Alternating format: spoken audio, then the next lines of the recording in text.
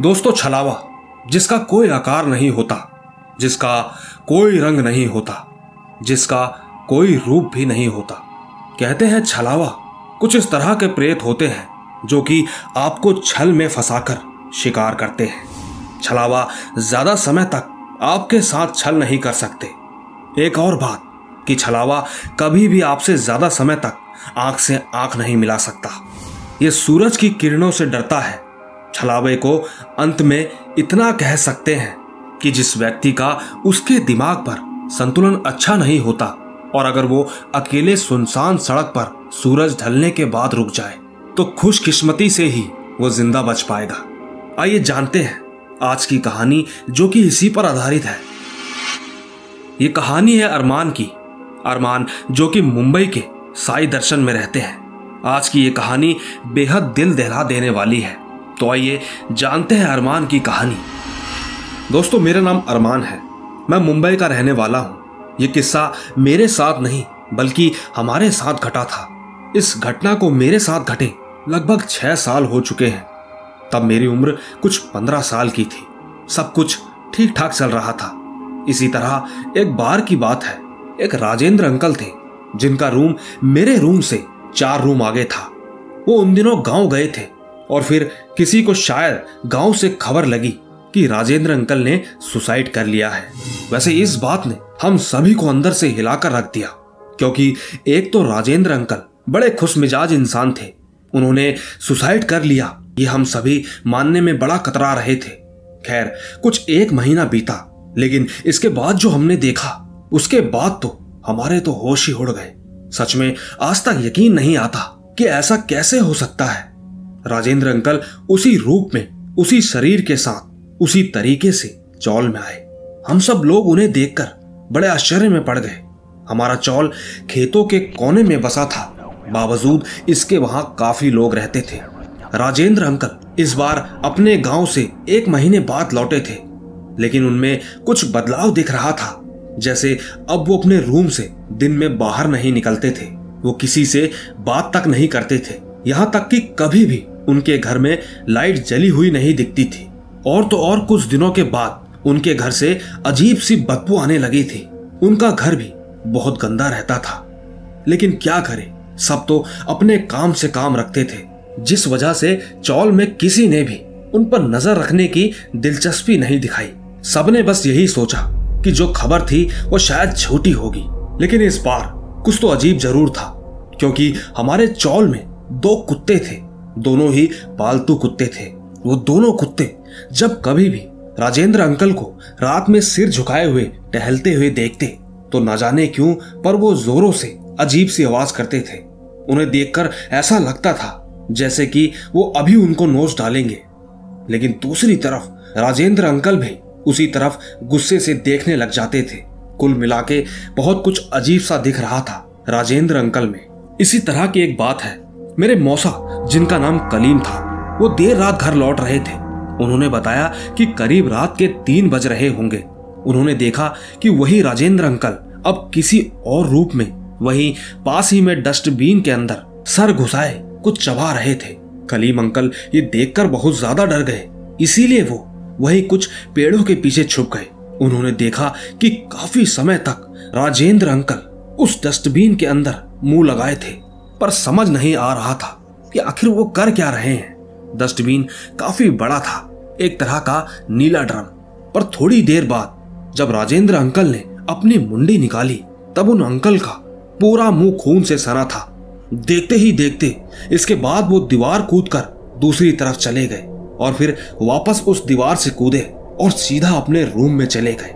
Kaleem uncle ने ये सब अपनी खुली आँखों से देखा था।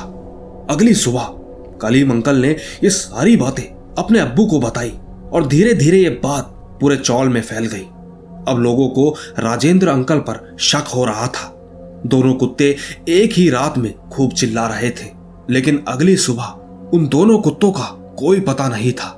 सब कुछ बहुत ही अजीब हो रहा था। अब लोगों में अंकल को लेकर तरह तरह की बातें हो रही थी। एक दूसरे अंकल भी थे, जिनकी राजेंद्र अंकल से बिल्कुल नहीं बनती थी। एक बार उन दोनों के बीच काफ़ी ज़्यादा झगड़ा हो गया। झगड़ा जैसे तैसे शांत हुआ। दोनों अपने अपने घर चले गए। इसके बाद आगे क्या हुआ, किसी को पता नहीं। अगली सुबह जिन जिन लोगों ने देखा, उन्हें अपनी आँखों पर यकीन नहीं हुआ। उन्होंने देखा कि राजीव अंकल जिनसे झगड़ा हुआ था, वो एक पेड़ से लटके हुए हैं। उन्हें शायद किसी ने फंदे से लटका दिया था। वो एक जामुन का पेड़ था। वहाँ लोग अक्सर गर्मियों में बैठने जाते थे। इस घटना के बाद से सब लोग राजेंद्र अंकल से अब थोड़ा चौकन्ना रहने लगे, लेकिन मामला थोड़ा और गंभीर हो गया। आखिरकार कब तक उनके अंदर का सच हम सबसे छुपता? एक दिन गलती से राजेंद्र अंकल के रूम की बाहर वाली खिड़की खुली रह गई, जबकि अक्सर ऐसा होता नहीं था। तो ठीक एक अंकल आंटी उसी तरफ़ से शायद अपने घर को जा रहे थे। लेकिन उन्हें उनके रूम से गुजरते समय बड़ी ही अजीब सी महक आई। उन्होंने मुँह पर रुमाल लगाकर जब अंदर झांका तो उन दोनों के पसीने छूट गए। उन्होंने देखा कि राजेंद्र अंकल के घर में बिल्ली, सांप, खरगोश और दो आदमियों की लाश है, जिसे राजेंद्र अंकल बड़ी ही बेरहमी से चबाए जा रहे हैं। ये देखकर उन दोनों ने चिल्लाकर सबको बुलाया। हमारे माता पिता ने हमें कमरे में बंद कर दिया। और खुद उस तरफ़ निकल गए। हम कुछ देख तो नहीं पाए, पर उन्होंने बताया कि वो कोई बड़ा अजीब जीव था। सबने मिलकर जैसे ही दरवाज़ा तोड़ा तो वो बड़ी ही फुर्ती से बाहर भाग निकला। अंदर पूरा कमरा बदबू कर रहा था। ये सब देख सारे ही चौल वालों के होश उड़ गए। इसके बाद से उनका पूरा रूम लॉक कर दिया गया। तब से हमेशा के लिए वो कमरा बंद कर दिया गया है। पर एक बात है राजेंद्र अंकल हमें फिर कभी नहीं दिखे। अब वो सच में कोई जानवर था या राजेंद्र अंकल? ये बताना बहुत मुश्किल है, पर राजेंद्र अंकल उसके बाद से हमें कभी नहीं दिखे। हालाँकि कुछ दिनों बाद राजेंद्र अंकल के माता पिता से बातचीत हुई और जब उन्हें इस घटना के बारे में पता चला तो उनके भी होश उड़ गए। उनका कहना था कि उनकी मौत तो एक महीने पहले ही हो गई थी और वो भी उनकी मौत का कारण। काला जादू था। साथ ही उन्होंने ये भी बताया कि किसी ने राजेंद्र अंकल को अपने वश में कर लिया था, जो कि उनसे उटपटांग हरकतें करवाता। और जब तक ये सब हमें पता चलता कि राजेंद्र ने आत्महत्या ही कर ली थी, कई लोग तो इसे छलावे का नाम देते हैं। तो कुछ किसी प्रेत का, अब इसके पीछे की सच्चाई क्या है, ये तो भगवान ही जाने। पर वो जो कुछ भी घटा था उसने हम सबको हिलाकर रख दिया था। आइए दोस्तों, चलते हैं इसी के साथ। एक दिल दहला देने वाली दूसरी कहानी की तरफ़। आइए सुनते हैं। दोस्तों, बिहार के रहने वाले सौरभ हमें बताते हैं कि जो घटना उनके साथ घटी, वो बहुत ही अजीब थी।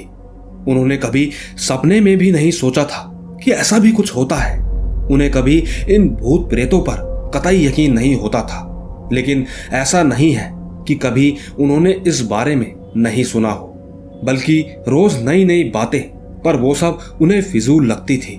लेकिन अचानक जो उनके जीवन में ऐसी घटना घटी, जिसने उन्हें अंदर से झकझोर कर रख दिया।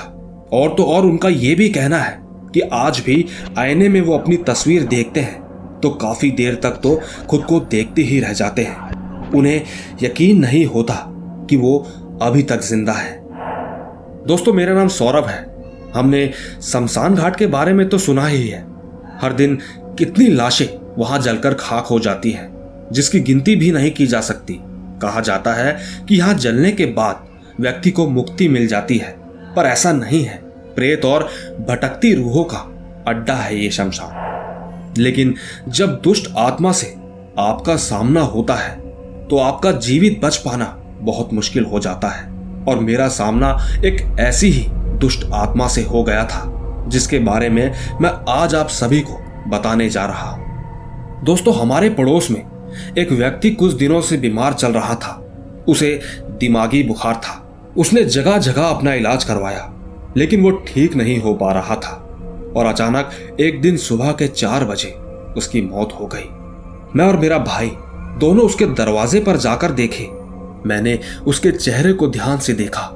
आँखों से कुछ सफ़ेद सा तरल पदार्थ बह रहा था। दोनों आँखें पूरी खुली और उसका चेहरा एकदम डरावना सा लग रहा था। सवेरे से सब व्यवस्था करते हुए लाश को घाट तक ले जाने में रात हो चुकी थी। फरवरी का महीना था। कड़ाके की ठंड पड़ रही थी। हम लोग तकरीबन बारह या तेरह आदमी थे। इनके पार्थिव शरीर को जीप की छत पर रस्सी से कसकर बांधी हुई थी। हम दोनों भाई जीप के पिछली सीट पर बैठे हुए थे। गाड़ी काफ़ी तेज़ी से चल रही थी। बाहर से आती ठंडी हवाओं के साए साए की आवाज़ अंदर से डर का एहसास करवा रही थी। ठंड से हम सभी का हाल बहुत बुरा था, लेकिन कुछ ही घंटों में हम सब घाट पर पहुँच गए। घाट के बगल में जीप जाकर रुकी। मैं और मेरे साथ कुछ लोगों ने मिलकर लाश को जीप से नीचे उतारा।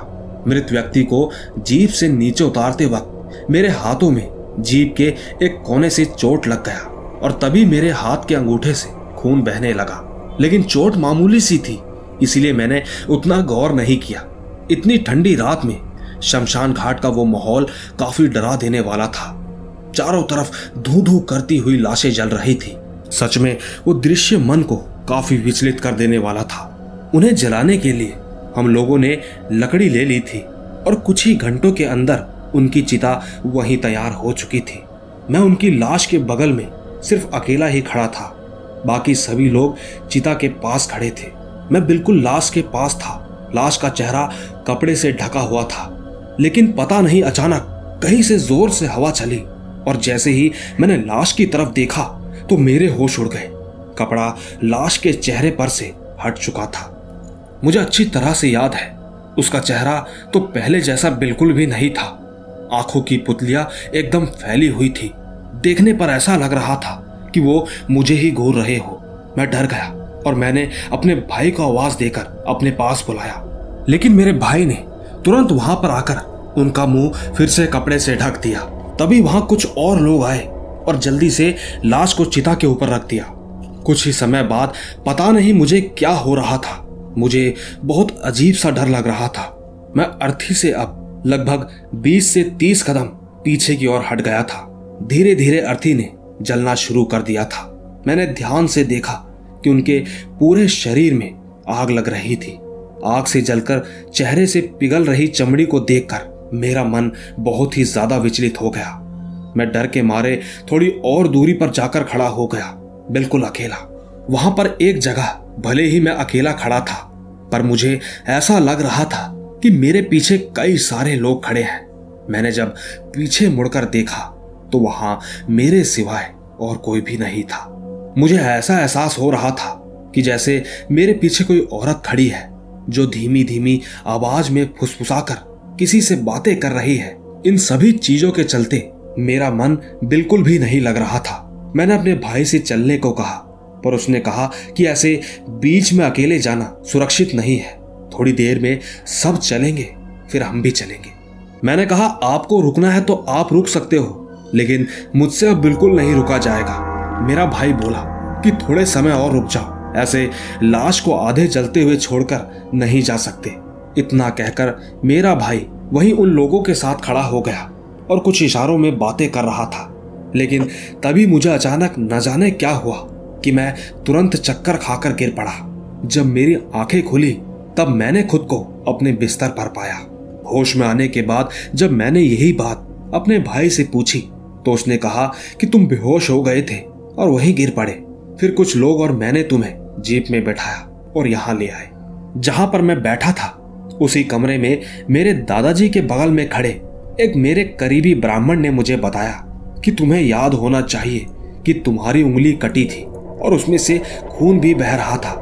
कभी भी शमशान पर अपने खून की एक बूंद भी मत गिरने दो, क्योंकि खून की खुशबू से वही सारी आत्माएँ जागृत हो जाती हैं। ऐसा लगता है कि ज़रूर तुम्हारा खून वहाँ एक दो बूंद तो गिरा ही होगा। तभी तुम्हें अजीब सा महसूस हो रहा था। तुम्हारे घर पर हर साल त्रिलोकी हवन कुंज होता है। शायद इसी वजह से अवचेतन अवस्था में तुम ज़िंदा बच पाए। पर अगर वहाँ कोई ना होता तो शायद तुम भी आज ना होते। क्योंकि कुछ आत्माएँ बहुत ही बुरी होती हैं।